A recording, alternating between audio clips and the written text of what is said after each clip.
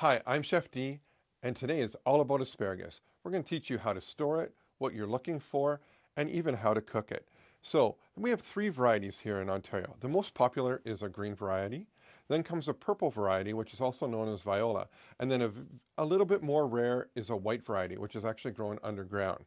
So, how do you store asparagus? What are you looking for? So, when you go to your local grocery store or market, you're going to see the asparagus. It all comes out and it should be between six and nine inches in length. And the top should be nice and compact, as you can just see on this, it's not moving.